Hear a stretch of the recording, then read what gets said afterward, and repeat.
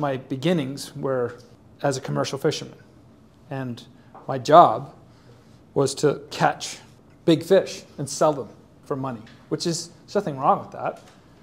But what I realized was that because I had grown up as a really little kid, free to like run through the woods and get lost and get scraped up and you know just play and explore nature by the time I got to be the age where I had to like make a decision about what I wanted to do with my life, the natural sort of thing to do is to kind of become a fisherman in the place that I grew up. That's up in New England. That's where that was. And um, I didn't know this until recently, like what this was about. But what it was about was the fact that I had this long relationship with these creatures of the world, nature crabs, fish, frogs, even like the seaweed and the water and the mud of the bay. And then I got to a point in life where I was being asked to convert that whole experience as a child into something as a, a commodity. A commodity is something that is just for, done for money. Not that there's anything wrong with money, but the idea was to convert this thing that I thought was magical.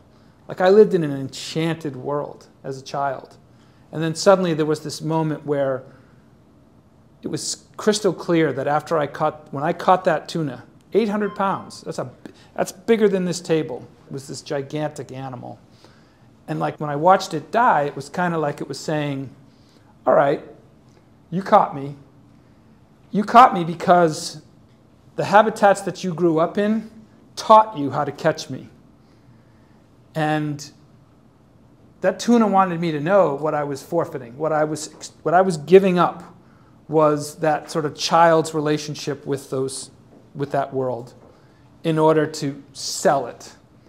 And all my buddies on the boat were like pat me on the back. Everybody was excited because we were going to get all this money for this fish. And I felt everybody was like, great job, you know. And I knew why I caught that fish. I caught that fish because every animal that I had handled, every bird that I had watched, every frog that I had caught, you know, every salamander had taught me how to do that. And I was, and, and that tuna wanted me to know, at least this is the way I interpret it, that I was putting all of that behind me so that I could be an adult and convert that, that relationship that I had with nature into money. That's nothing wrong with that. But I'm just saying it was like that was like a moment of like having to come to face that reality. That it was get, putting behind me that child's understanding and experience of the world in order to like make money. And, and, and the opportunity that was in that moment was that I could make a decision that I didn't necessarily want to do that. And that's when I decided to really get serious about school and go back to school. And that's why I decided to study marine biology and oceanography, and that's how I got into science. Anyway, so that's, I don't mean to go on too long about that, but I don't, I'm not sure if I communicated that in the film itself, but it was something that I, I now understand, was that that was the price of that lesson, was that tuna. And I wanted to make sure I did that justice, that tuna justice. Do you have a question? So, like, are you trying to convey that there's like beauty in looking at the world through like a childhood Yeah, yes. And that you don't have to forfeit it just to be an adult. Like you keep that alive. You can keep that, that, call it passion, call it sense of curiosity, sense of um, enchantment is the, is the best word, I think.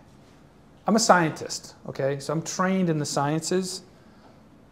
So nothing I'm going to say tonight betrays the sciences. Nothing that I'm going to say is outside of the scientific worldview, but it might sound like it. It might actually start to sound like I have a spiritual connection to nature, and I do, but I'm still a scientist. But I'm in love with it. I'm in love with, I'm in love with nature. And I do feel like there's, kind of a, there's a kind of magic. Not a supernatural magic, but a natural magic in nature. So yeah, that's, to answer your question, yes. That's what I was trying to say. But I, I, don't, I think you can retain that throughout your whole life. And if you do, you live a wicked full life if you can retain that. Wicked full. You can tell you're from New England when you say wicked Yeah, full. a, that's a Massachusetts word. Normally say wicked pissa, which is actually what clams do. When you walk by clams, sometimes they'll squ- they'll squirt up out of the mud. That's a wicked piece of clam. yeah. Um, I guess my question then is, uh, when do you become an adult? Because if you can keep the mindset forever, then like, is being an adult just a, a title, or are you like entering a new mindset that also encapsulates the Great question. I think what you're talking about, like the way you just said that, like you're saying, you're questioning the categories that we use to define what it is to be a child, what it is to be an adult, and then you said this new thing where there's an adult that keeps the child alive. That's kind of like a third thing, like a when you put it that way, you can think of that you can think of what you just said across all kinds of different domains. It's kind of fractal. In other words, the thing that shows up in one at one scale can show up at another. But so the fractal that what your question brings to my mind is that there's a continuity. And that you don't have to there's no hard breaks between what it means to be an adult and a child. And there's actually no hard break between what it means to be a child, an adult, or this third thing you're talking about the adult that keeps the child's way of seeing the world alive. But all those things are on the same continuum. Yeah. Doesn't that make them all the same? In a sense, what it is, what I, what, what, in, I study the cosmos, the universe, and what I see when I study the cosmos is differentiation along a continuum. So, yeah, in one sense, they're all the same thing because they're all on the continuum. But there's differentiation along that continuum. And guess what? If you look at the history of the universe, it's, that sa- it's the same story. If you look at the way that the universe has evolved since the Big Bang, it started, you know, in the cosmic microwave background radiation, and it has evolved. It's complexified. It's differentiation along a continuum. Just like a human lifespan is differentiation along a continuum. This is an idea that I call continuity, or it's called continuity. Does anyone know what continuity means? It's- kind of a it's kind of a big word, but it just means this. It means that everything is continuous, that there's a there's no real hard breaks between anything. So in some sense, yeah, it is all one. Okay. Differentiation along a continuum. I have more questions. but it's So if it's getting too, it may, this might be getting like too philosophical, but that's okay. Uh, There's no such thing. It's too philosophical. Did you have a question? Did you want to ask? Uh, Or- no, I was just gonna like talk to, like, I was just gonna help define what continuity means. What hap- yeah, what do you, what do you think? Um, I mean, like, I've taken like AP World and stuff like that, and continuity is kind of like, you know, same over like a period of time. You've taken what? AP World, What's that? it's like an AP class. Like world history? Yeah, yeah. Ah. Well, let me ask you a question.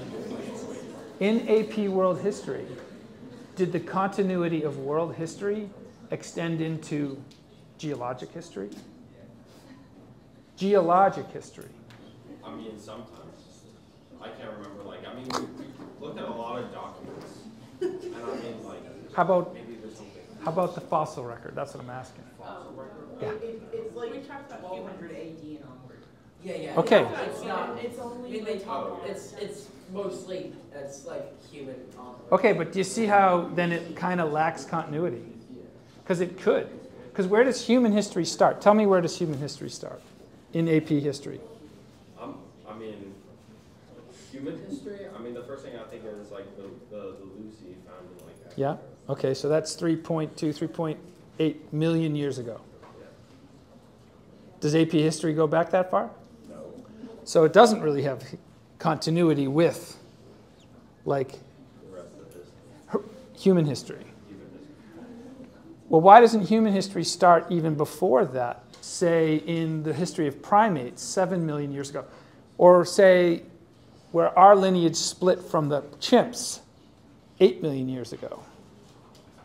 I'm just, I'm just asking a hypothetical question here. Like, doesn't it start there? Or, or can it even start further back when, like, the dinosaurs went extinct 65 million years ago? Because that opened up a whole niche for those little mammals to get a foothold to start.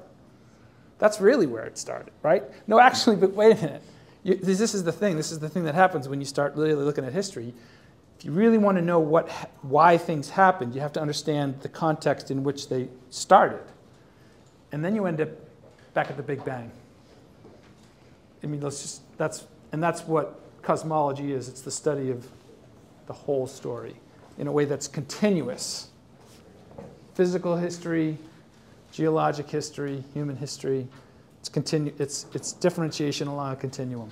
This is the kind of thinking that my field, which is sometimes it's called big history, sometimes it's called cosmic evolution, deep history. This is what you have to kind of grapple with. Is that kind of continuity. Did you have another question? Uh, I just have a, uh, some clarity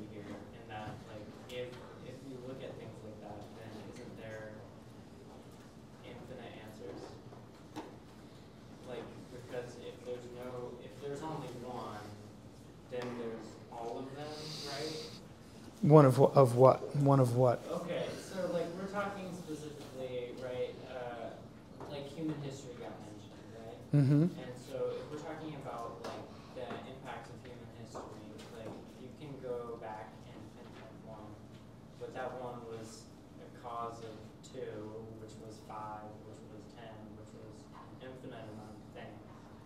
So, and this is probably too close. Is it infinite, though? I mean, I don't know. First of all, there's a big mystery that's written into the whole thing, okay, that even science doesn't know and maybe can't know. So once we acknowledge that there's a big, deep mystery back at the Planck constant, the Planck time, 10 times something to, to the negative 43 seconds, right? Yes.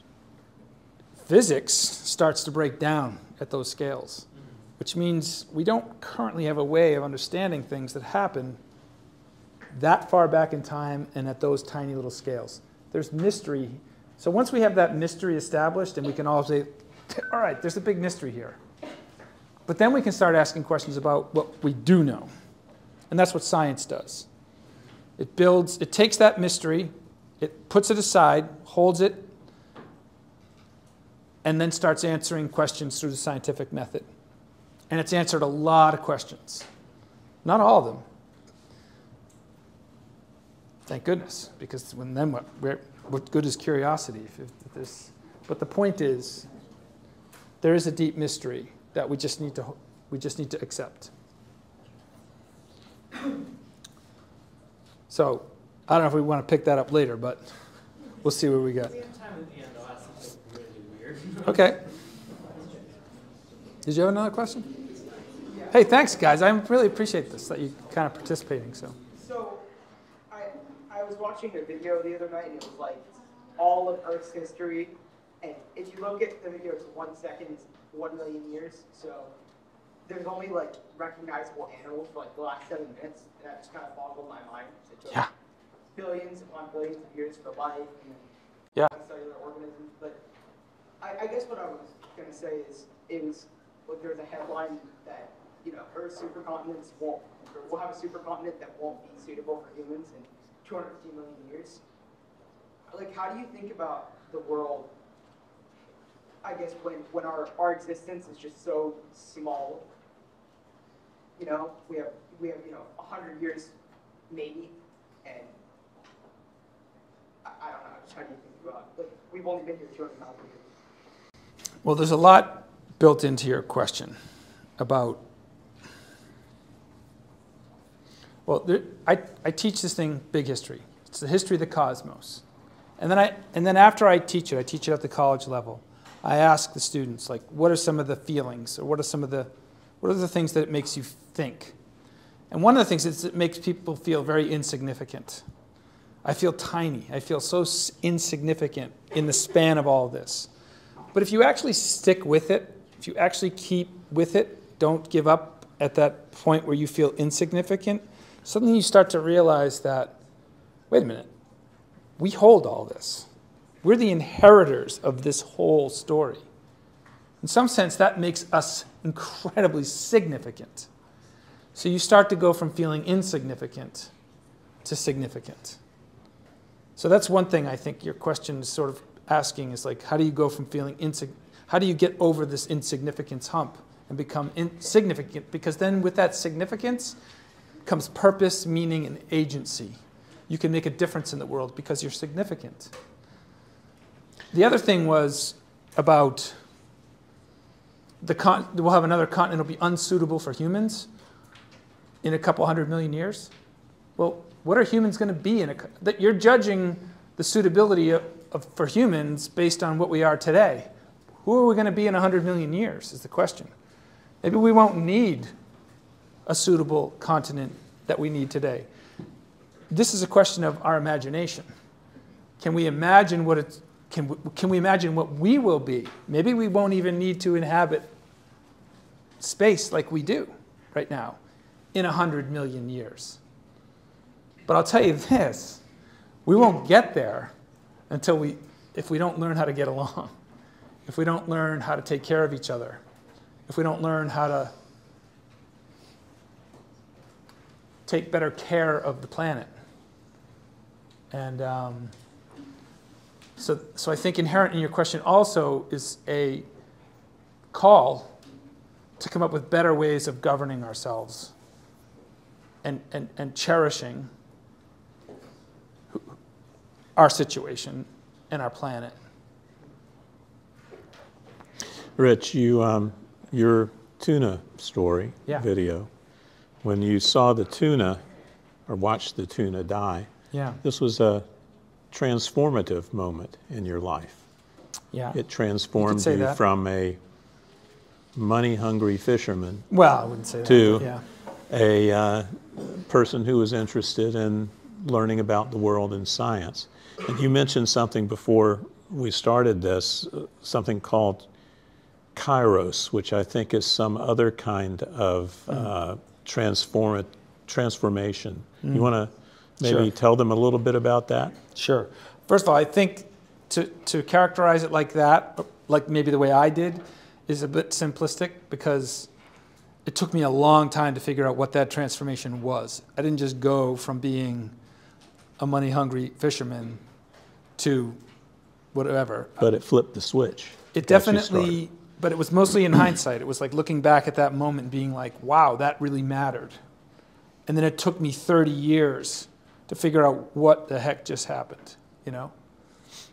So, um, but what you mentioned, what, what John mentioned was um, um, this word called the kairos.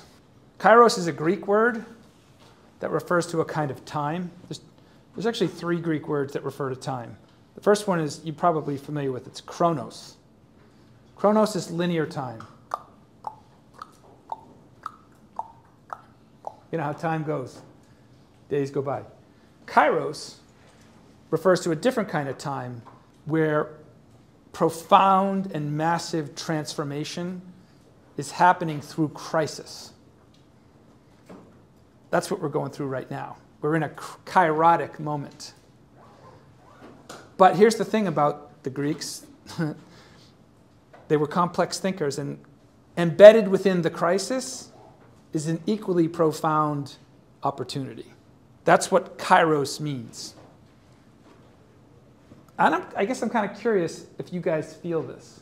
I mean, like, you know, we've been around a while, and so we can kind of feel the difference between the world as it was 20, 30, 40, 50, even 50 years ago. And we can feel that there's a major change happening in our society, in our climate, in our world order. Can you guys feel that? Because this is like the world you're inheriting. You're inheriting the, the kairos.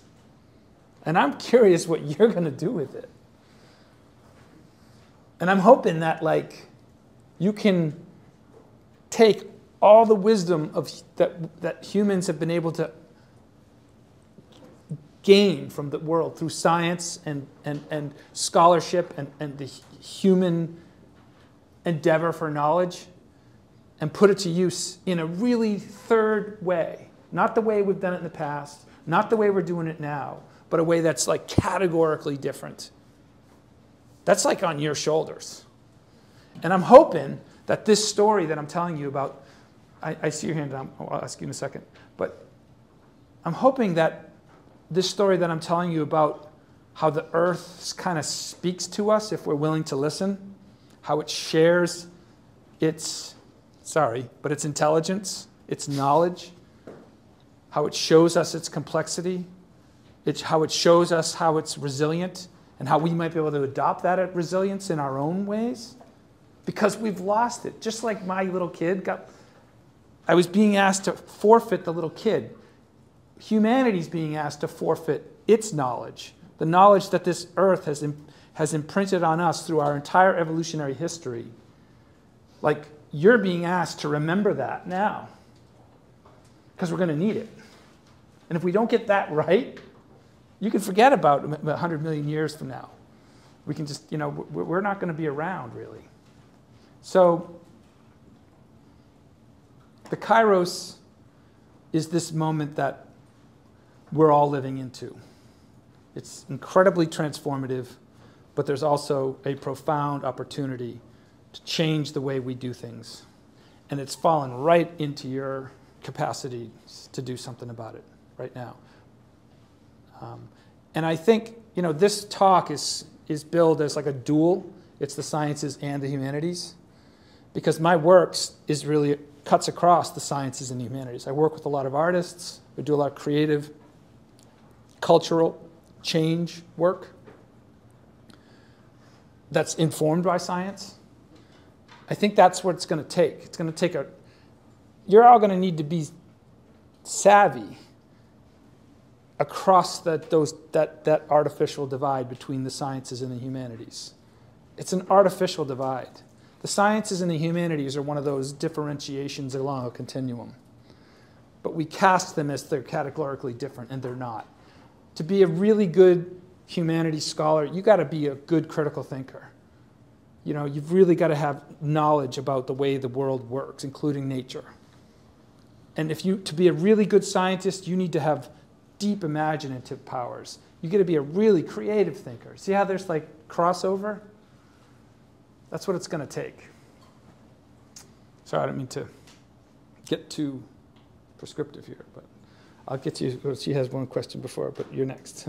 I was going to say for our generation, I feel like um, I have seen a change since the pandemic because I feel like people don't think about nature as much growing up like people born after the pandemic don't really think about nature as much because everything they know is on like a tablet or something that they can just learn from that rather than they don't have to go outside because they didn't need to before. So I don't know if that's that's. Hmm.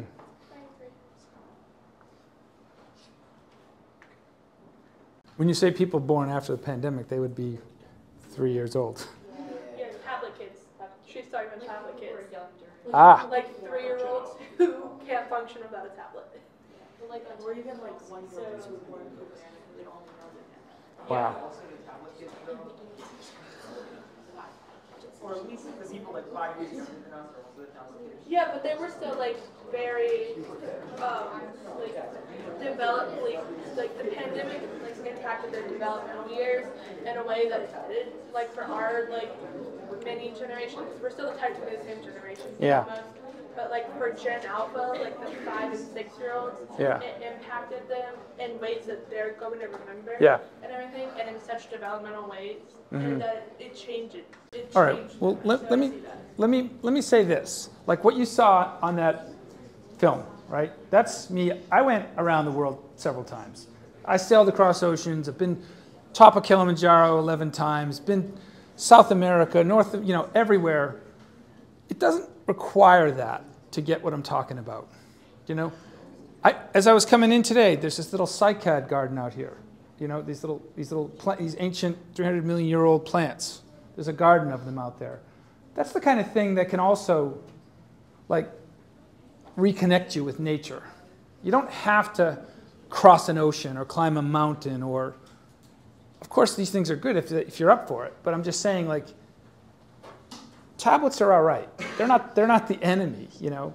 They can open up access and, give us access to, and, and inspire us to have a relationship with nature in your backyard, you know, or just on your drive home when you're going over the over the rip over the bay. Look, look out there, see what's out there, you know, look away from this things and, and, and just like set up a hammock in your yard and a bird will come. That's, that's good too. Like that's, that's a way to have a relationship with nature as well. It doesn't, have, doesn't require a huge world crossing adventure. So there's still hope even though we are tablet kids. Yeah. I was just saying, like, I, I wish there were people who cared about nature the way that you do more, like, often. Yeah, I hear that too. Let me say another thing. When I started this work, right, I thought if I could reach 10% of people and get them to fall in love with nature like I am, then would you know that'd be good. I've had to like downgrade my expectations. It's and then I was at like 1%. And now I'm actually like at 0.1%. It doesn't take everybody to feel this way. It does take key people, like key, people who have the, the sensitivity and the, the call. If you feel called to this, that's really important. And then you can inspire other people. But we don't all have to have, we don't all have to live like this. But we have to be able to show people that it's possible and get people to care. Um, so, anyway, I don't think we but we do need to remember that, that this is within all of us, by the way. If you look at the history of humanity, what you realize is that human beings, every human being alive today, doesn't matter what your skin color is, what your ethnicity is, what continent you're from, what country you're from, it doesn't matter. Every human being alive today has inherited an evolutionary story through every habitat on this planet and it's in us all. Our bodies, even our like minds, hold the intelligence of this of, of every habitat on this planet within us. And so we all have this, even if we don't go around doing what I'm doing. so, one sec. Yeah. Um, I don't know if I just didn't catch this one earlier, but my question is like, what is like the purpose? Like, what do we benefit from reconnecting with like nature? We don't go extinct. First of all. Second of all, it's the most fulfilling, joyful, beautiful, gratitude filled sense of interconnection and wisdom on the planet. We have everything to gain from it, reconnecting to who we are. We heal the injury of the disconnect that we're all now currently suffering. I hold the belief that most of the world's problems today are caused because we feel separated from our origin story, which separates us from each other. It's because of that, I think, that injury, whether we acknowledge it or not, that causes us, or let's say, uh, encourages us to mistreat each other. And I think that's the root of a lot of the problems. So, to answer your question, we have a lot to gain by reconnecting to nature. I think it will help us heal, not just the planet, but ourselves. And then we'll have the wisdom to, to, to govern ourselves better, to not get into ridiculous ideological wars or do to, to to extract and exploit each other in ways that harm each other. This is, this is what I think we, this is seriously what I think we have to gain from reconnecting to nature. It, it'll, it'll bring back our sanity as a species. I know these are I know these are strong words, but I think there's some truth to them. yeah. Did the tuna transform you into a vegan? Good question. Did the tuna transform me into a vegan? No. But what it did do is compel me to respect and appreciate what I, what I do.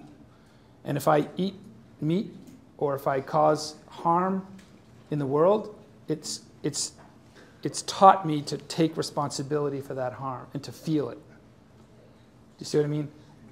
I don't, and I do. Like when I, it, it causes me to think about my actions and take ownership of the harm that I do in the world. That's a responsibility that I have now. That doesn't mean I don't eat meat, but it means that I try not to create harm because I feel the harm that I'm creating. And I think knowing the evolutionary history of our bodies and our, our, our, our metabolism, our physiology, I think I've tried to be a vegetarian and I just I can't function. I, I need the protein. So, um, but it does make me aware of, it makes me care deeply about my actions. And I, so I consider them. Yeah. And then when you talk about like the harms, do you necessarily think like the overconsumption and like the industrialization of like like fishing and like Yeah. um, cattle farming and everything? Because do you think like the people like thousands of years ago who were connected with nature, who like were sustenance and everything, like were they causing harm when they killed buffaloes? I, I, I think going back to the injury, I think we feel because we feel separated from nature. We feel alienated from nature. And I think we all kind of carry around this sort of like pain of that. It causes us to try and heal that pain by hyper consuming, by consuming a lot. That's how we try to heal the pain. And this gets back to your question like, what benefit do we have? We'll stop hyper consuming. We'll stop, con- we'll stop consuming the world like the way we do. So I don't want to get too political, but so that I hope that answers your question. One second, she has a question. Yeah. Uh, you know, when you were talking about how we have this connection to the entire history of Earth, and you said we feel it in our minds, you put minds in air quotes. Yeah. I was wondering why. Um, because I'm a scientist and I'm trained that this is like this. It, I, I, I'm I'm trained to be uncomfortable around this conversation. That because science can't get a handle on the mind, we really shouldn't talk about it. And if we are going to talk about it, we should do this, because then that makes us less of a target amongst our peers. But so like we don't have an explanation for consciousness. I think we do actually. I think if you look at the history of the way life has evolved and the, and the way that habitats impinge on organisms, there's a clear there's a clear explanation for what mind is. So I actually believe that we have a pretty rigorous reductionist explanation of mind. However, I do that because I'm trained as a scientist and science and I have to operate in a political world. Does that make any sense? Okay. Did you ever? Oh wait, I'm sorry. One, once I told her I did. Well, no, I was just gonna say, you mentioned a little bit ago that art informs science and that you work with it, like in Yeah. the field. But I, I didn't, I wasn't sure if you were talking about the humanities and science sense, but what did you mean by that? About which one? Which part? Uh, that, uh, how art kind of informs science and that you work with it. Well, I guess I was just talking about how to be a really effective and competent leader, whatever you choose, whatever path you choose to go down, you're going to need to be competent across the domains, across transdisciplinary, you know, across disciplines. So it's real leadership starting now is going to require that you're not just a technician, but also a visionary.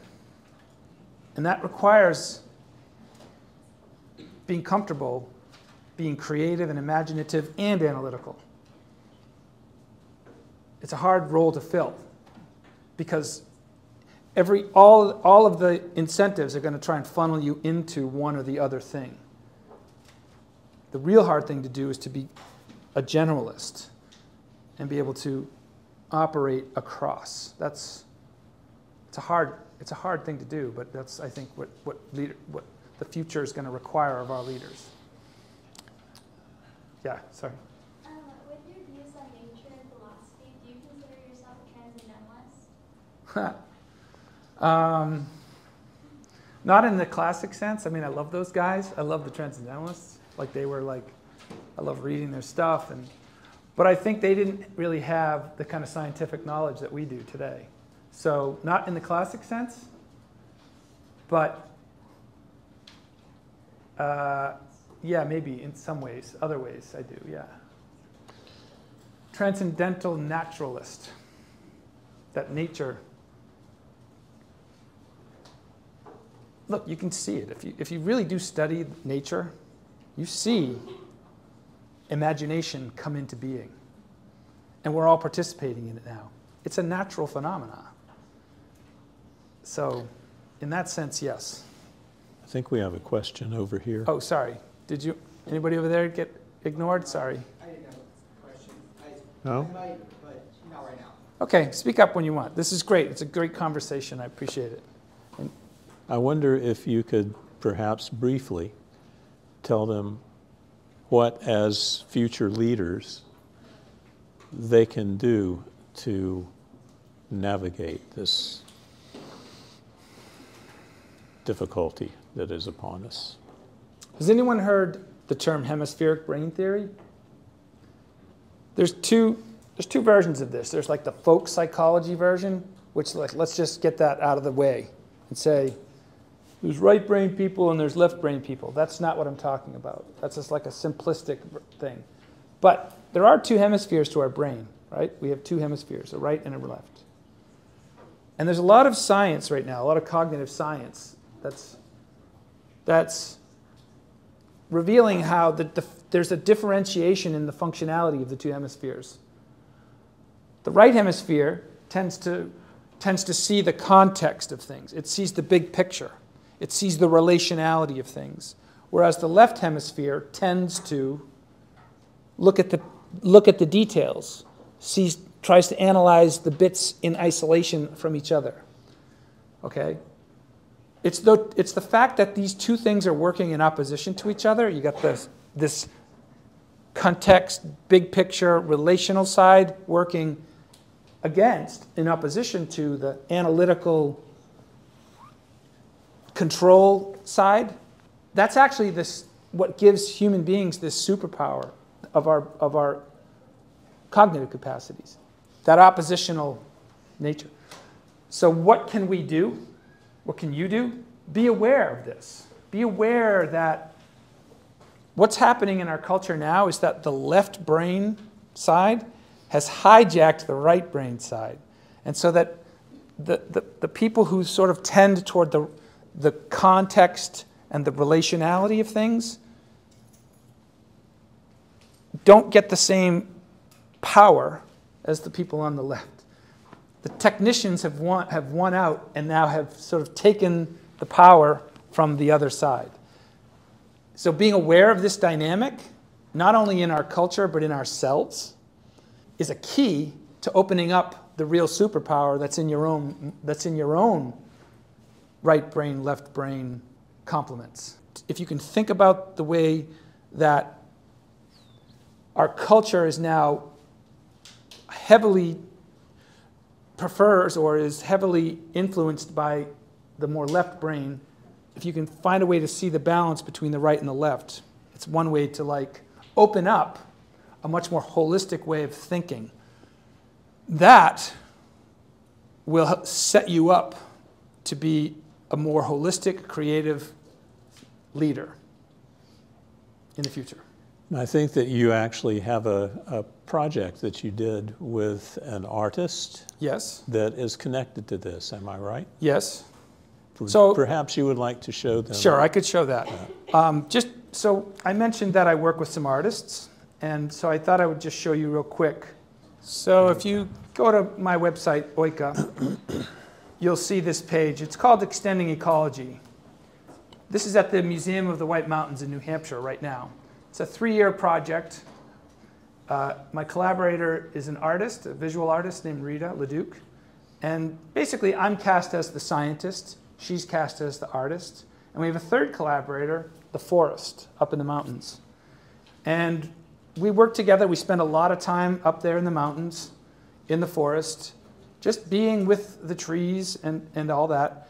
And now we were invited into this museum gallery up in New Hampshire, and I'll just play some of this video here. I think it should work. So here it is. You can kind of just see our work, some of the photos. A lot of my writing. So it's like, like I'm a scientist, but I'm doing a lot of like creative writing around it. This is the kind of thing that, you know, a kind of collaboration. I'll just kind of zip through it here so you can kind of see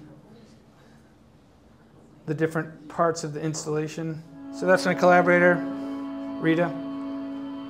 And so she's a painter. She paints things. She also makes different uh, things. This is an experimental forest back in the 80s. This was the place, you've heard of acid rain? Well, this was the place up in New Hampshire where they they kind of discovered what acid rain was. And they were instrumental in getting the, the, the laws changed to, to, um, to mitigate, um, to mitigate uh, acid rain. But now they've invited us in as a scientist artist team, and now we have this exhibition, and the idea is to change culture. So we go in as an artist and a scientist, we spend time in nature we, we let nature speak to us in a way, not like English, but it, like we, we spend time with it. She creates the art, I write the words, it goes into this gallery, and the idea is to bring the intelligence of the forest into the gallery so that the gallery can help nature create the culture. We're trying to create a culture that's aligned with nature by bringing the intelligence of nature into culture through the art. Does that make sense? That's what Oika is about. So here's some of her work. And she's, these are also some of her, these are things that she makes, and then they spend time out in the forest. Kind of like when you, when you steep tea in a, a tea bag, and it's like these things spend time out in the forest, just immersed in the ambiance of the forest. But it's just kind of cool that they've given us this opportunity to like create and then there's a lot of science here too. Like the whole story of the cosmos shows up in this ex exhibition. We went there in the wintertime, got the whole sort of uh, intelligence of the place during the, during the um, winter. This is some more of the art that she's created. I tell stories about this place like the Gorge, which is this really inaccessible valley that's really hard to get to. And I talk about how the light collects in there and it's really beautiful. And I talk about a lot about the geology of the, of the, of the area. Anyway, so you get the idea here. And these are some of the panels, some of the stories. Here I talk about hemispheric brain theory. Um, yeah. She creates these GIFs, which are little NFTs that are connected to biomarkers in the forest. I create these little films about different artworks. I interpret her works. We do, um, oh, and here's some of the, I do a lot of history of the universe stuff. So, for example, there's this whole series on, I'll just skip ahead here, where I talk about the, I talk about the intelligence of the universe, tell the whole story of the universe, Again, this is that continuum. See how this starts at the beginning of the universe in the mystery? It's called primordia. Then celestia, which is the formation of stars, galaxies, and then planets like our own, the Earth and Eartheria. And then animalia, how life emerged and how animals began, and then how humans emerged, and then how humans create culture. It's one big, long narrative, a story of continuity of nature showing up in this gallery up in the mountains. Anyway, and we do panel, we do discussions on YouTube. I have a, I have a YouTube channel where I handle a lot of animals in the woods and teach people how to like interact. And, uh, we have performance artists come and do things. We have workshops with college students. So this is this is the uh, collaboration that I do with artists. Yeah. I have to preface this question with a couple things. First of all, I love nature. I love spending time in nature and gardening and planting and everything. Okay. Second, I think you're gonna hate this question. Okay. Earlier, way back, you talked about kairos, right? Okay. How there's time for growth and expansion and how there can be a massive awakening, right, of ideas and growth. Would Earth's kairos be the death of humans? And thus, would our kairos be our own death if we are trying to save the Earth?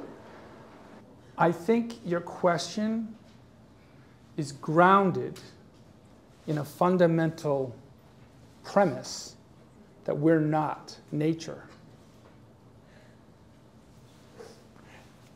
I mean, I think if we, I think it's all about uh, quantifying, right? And like, if if we are a subsect of nature that is harming the rest of nature, wouldn't our existence not only boost the rest of it, but also create more growth? And then, I mean, I guess it's, do you want to keep what you have now, or cut the flowers and let them grow more? Yeah, there's nothing to hate about what you're saying. There's nothing to hate. Okay. It's a great question. It's a hard question. Hard to wrap our heads around. There's no doubt we're out of balance. Yeah. And there's something fundamentally wrong with our relationship to nature. But I think we can fix it. I don't think it's I don't think we're that far gone that we can fix it. So will we go extinct then? Look, you, you are not you you don't survive any relationship you're in.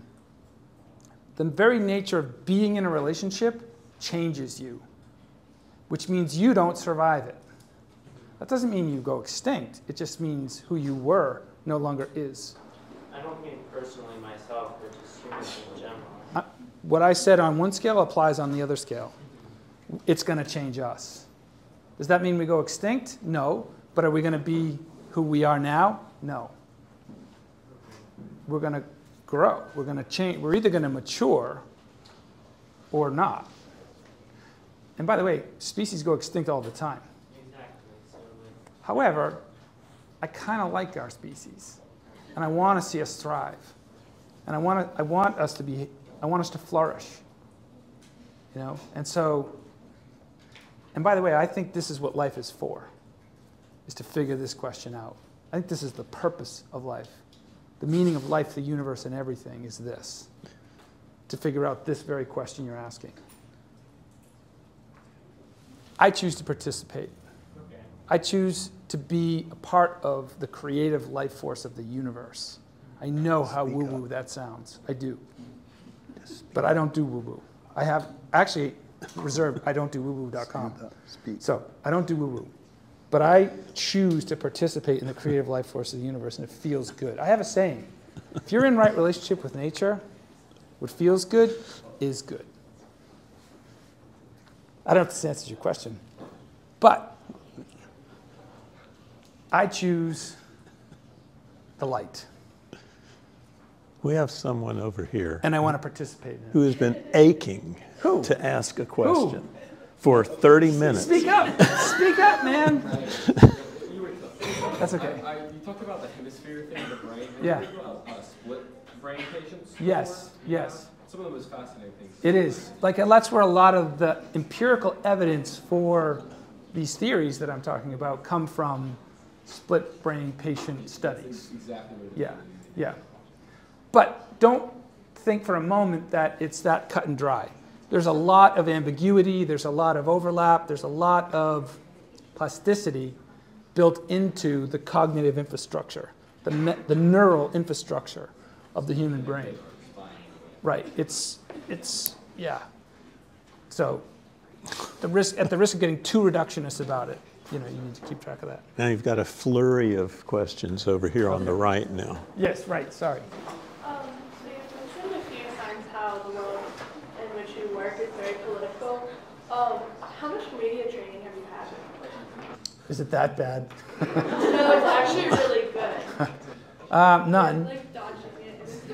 None, but I've made every mistake possible. So, and I've gotten skewered a lot. So, Do you find that it's harder to say like what you truly believe and that you have to pad everything with exceptions and like it's like how you said like it's always ambiguous and stuff like. Do you find that you have to do that a lot more than what you would have when you started in the field?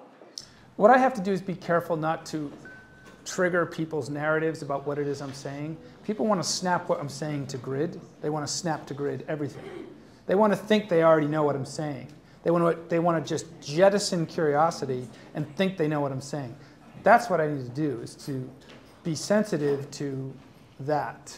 That people want to assume they know what I'm saying. But I am a good scientist. I don't actually do the science, but I'm committed to good science.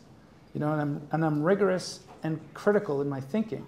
So it's, it's more about just not offending people and, and, and, and, and triggering them shutting down their curiosity.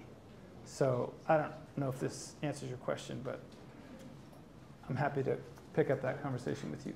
I'm gonna, yeah, go ahead. Him. Him, him? Yeah, go ahead.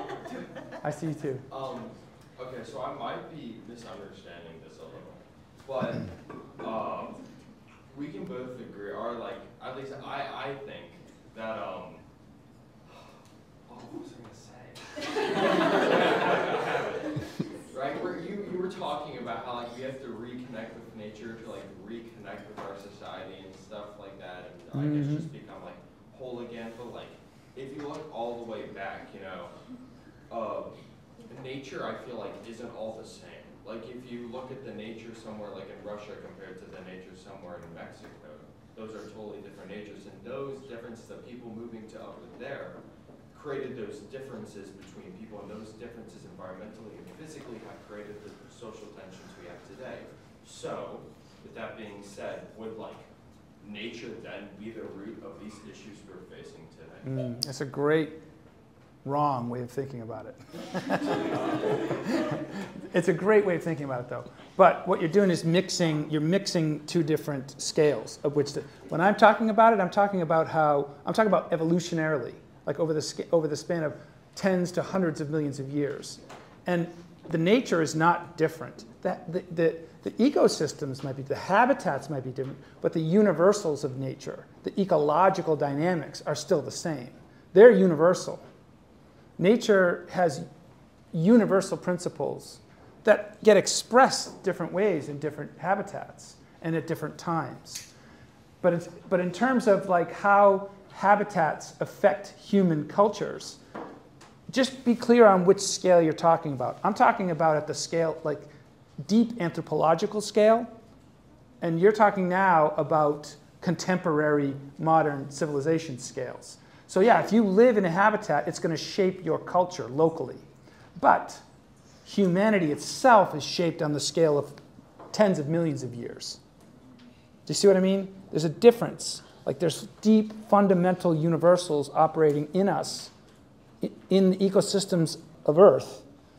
But you're talking about regional differences.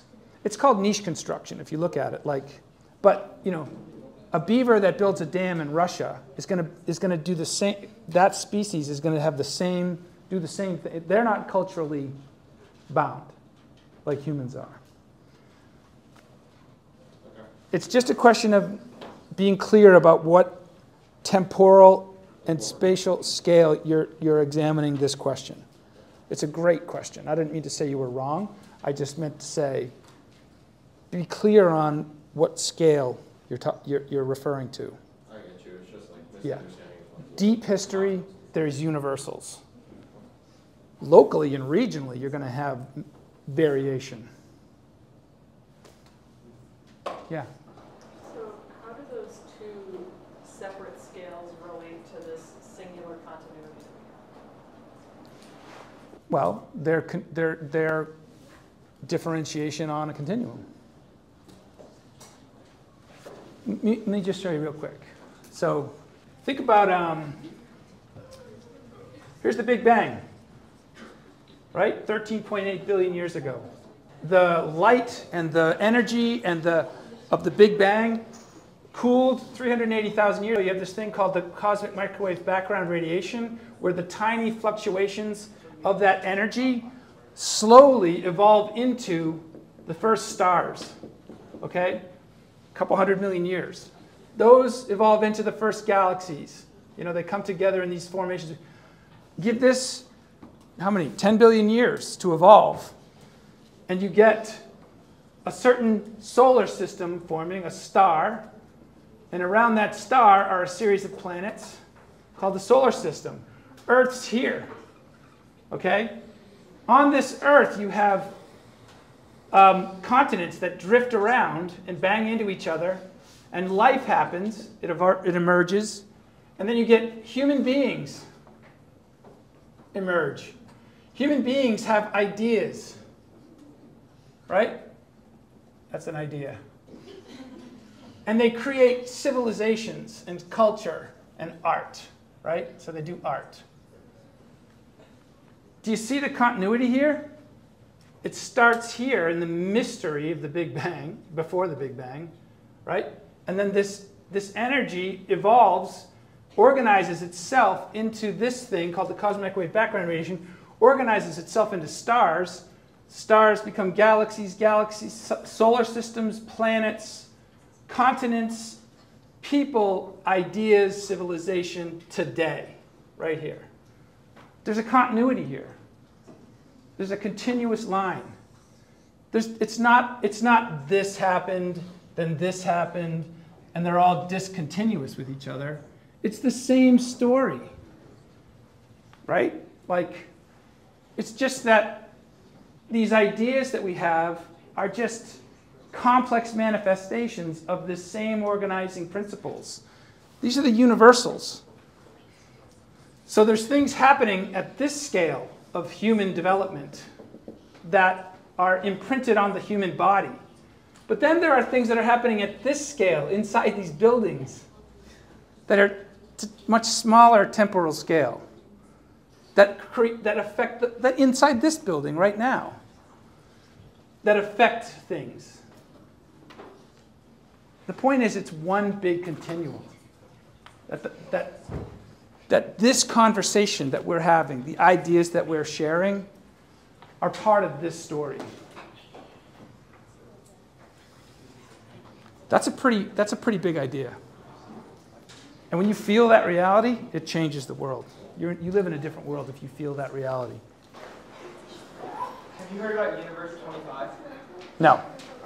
Okay. Can, can you tell me quickly about it? Yeah, it, they took a bunch of rats and they gave them unlimited food, water, everything, except for they were just in a room. And um, at first. Did you say brats or rats? Sorry? Brats or rats? Rats. Okay. And at first, the population thrives, but then they quickly die off because there's no hardship. They, they just have the food, they have no incentive to reproduce, and they die. Okay. So do you, a lot of people apply that to humans and say we're Yeah, but we're not rats. Yeah, I, I know. I we're human beings, and we have ideas, and we have, we can share stories about other things. Do you see what I mean? We can create other imaginative scenarios where that doesn't happen. That sets us apart from rats.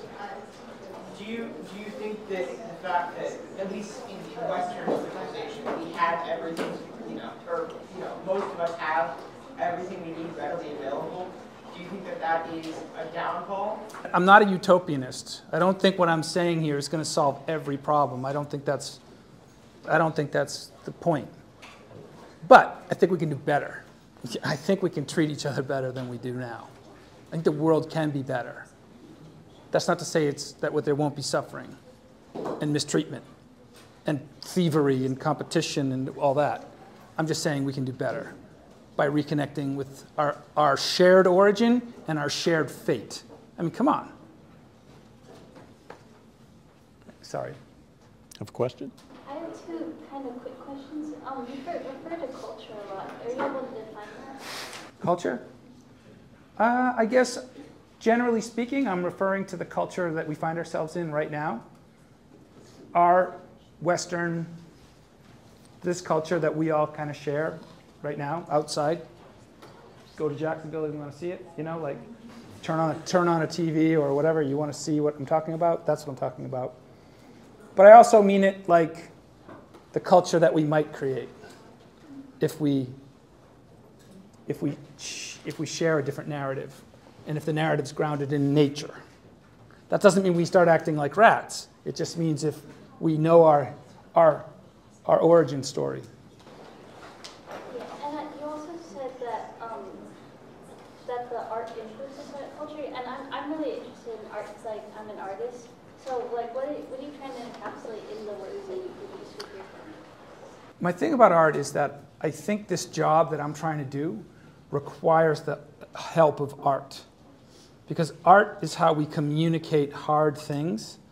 It's how we communicate creative, imaginative possibilities for the future. And I don't think science is really up for that. Science has a job to do interrogate nature, figure out what it is, and do the best, most rigorous thing you can. But it's, it's going to require artists to help us create a culture that can make meaning of that scientific knowledge. Does this, does this, does this answer your question at all? So that's why I'm like really, I, I want to empower artists, scientifically informed artists who have a commitment to science, a scientific worldview, to help us create a culture that's more aligned with nature. Anybody else before I get back to you? Because way in the back, Khalili.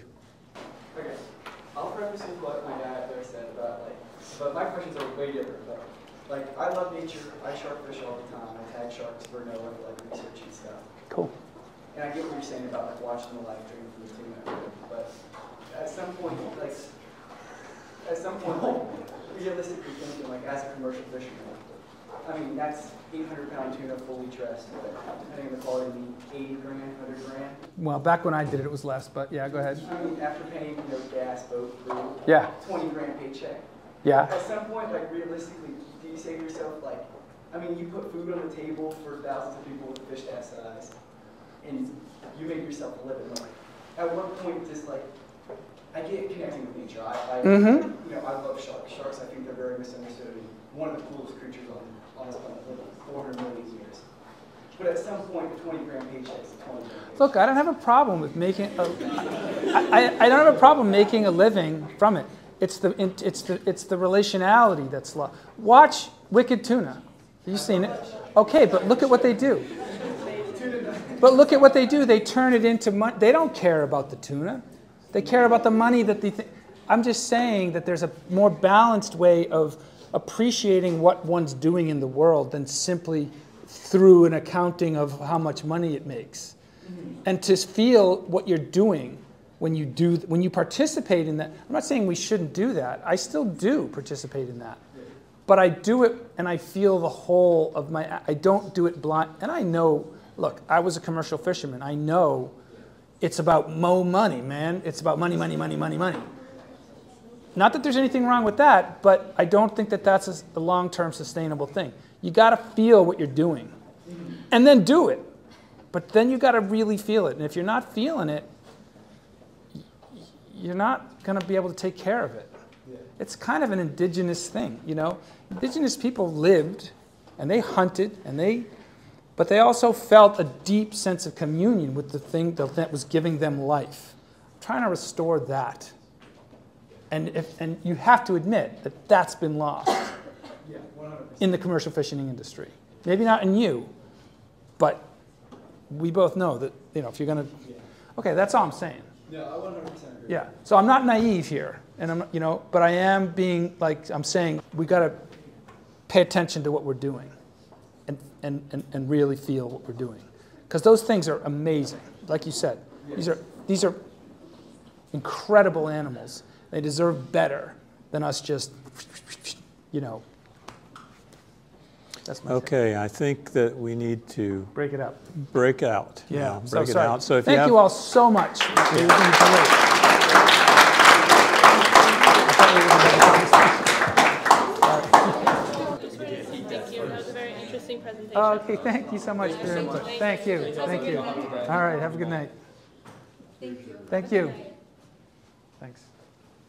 I, uh, All right, I thanks. guess what, I've been thinking recently in the box of, you know, I don't think, I don't know that we can do better. I don't, I don't know, like, I, is this just our nature? You know, the way we do things right now and have done things. Um, but I guess this kind of like opened my mind. Don't give up hope. I don't think our nature is set yet. I think we've forgotten that that's our nature. Mm-hmm. Do you know what I mean? I think you're judging us based on where we are right now. And I think if you use your imagination, you can imagine us having a different nature, a better nature, a nature that's actually in alignment with nature. That's what I'm hoping. I'm a very like um, Optimistic? pessimistic and analytical. Okay, I'm not enough. pessimistic actually. I'm, I'm more of a realist. I like to think. I like to think that too, but I'm trying to be realistic. Like, not everybody's gonna like get this, Yeah. but somebody's got to do it. well, I like I, you opened my mind up to like a new, Oh, new cool. idea. So. Yeah, have hope, man. Did you have a question? I just wanted to say thank you. Oh, yeah, thanks for um, coming.